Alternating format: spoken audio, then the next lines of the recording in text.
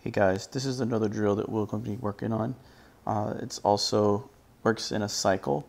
Uh, I'm hoping that these drills will have somewhat of a high intensity pace to them and they just keep running themselves.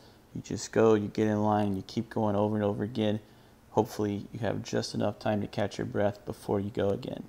Um, this drill is going to start out. It's not too it's not too hard to to follow, uh, but please take, pay attention to this and so that we can run this smoothly. We're going to start with this guy here with the puck and he is going to skate with the puck up the boards.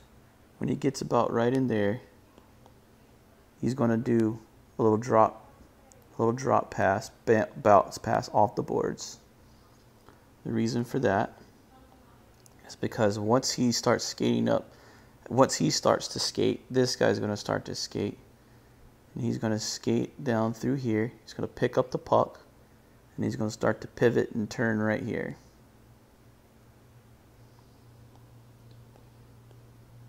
And as he's doing that, the guy that just bounced the puck is going to come. He's going to circle around the top of the circle, come up through the hash marks.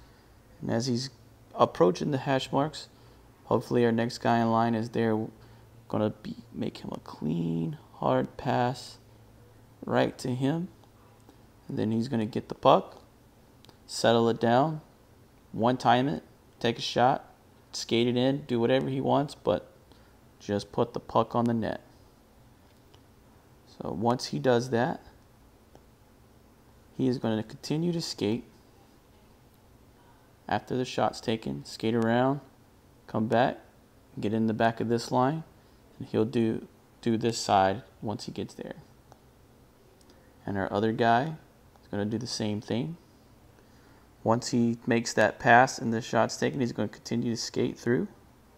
Except for he's going to go around behind the net, come around, and get in this line. And that's it, and we'll just keep cycling through.